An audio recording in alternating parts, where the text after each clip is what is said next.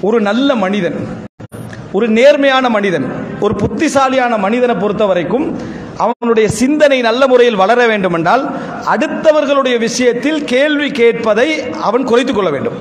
இமாம் ஷாஃபி ரஹிமகுல்லா அவங்க சொல்றாங்க சலாசத்தும் தசீது ஃபில் அக்கல் மூன்று விஷயம் சிந்தனையை வளர்க்க செய்யும். ஒரு மனிதனுடைய புத்தி கூர்மையை வளர்க்குமா மூன்று விஷயம் ஒரு மனிதனுடைய புத்தி கூர்மையை வளர்க்கும். ஒன்று முஜாலசத்துல் உலமா. மார்க்க அறிஞர்களுடைய அந்த அறிவுடைய சபைகளில் என்ன செய்தல்? உட்காருதல் உங்களுடைய சிந்தனை என்ன செய்யும்? வளர்க்கும். அதே போல முல்லாசமத்து சாலிஹின் சாலிஹீன்களுடன் வணக்கம் இபாதத்து தொழுக என்று ஈடுபடக்கூடிய மக்களோடு நீங்கள் இருத்தல் உங்களுடைய சிந்தனை என்ன செய்யும்? கூர்மையாக்கிக்கிட்டே போகும். உங்களுடைய சிந்தனையை கூர்மையாக்கிட்டே போகும். சிந்தனை கூர்மையாக்கிட்டு போனால் என்ன நடக்கும்? மட்டகரமான செயல்பாடுகள் எங்கள்கிட்ட வராது.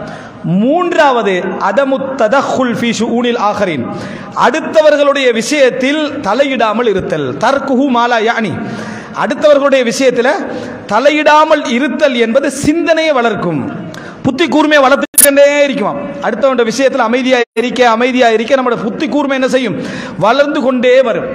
ஷாப்பாக எல்லா விஷயத்தையும் புரிந்து கொள்ளக்கூடிய தன்மைக்கு நாங்கள் என்ன செய்வோம்? வருவோம் மட்டும் இமாம் ஷாஃபி ரஹமுல்லா அவர் சொல்கிறாங்க புத்தி கூர்மை எப்படி வளரும்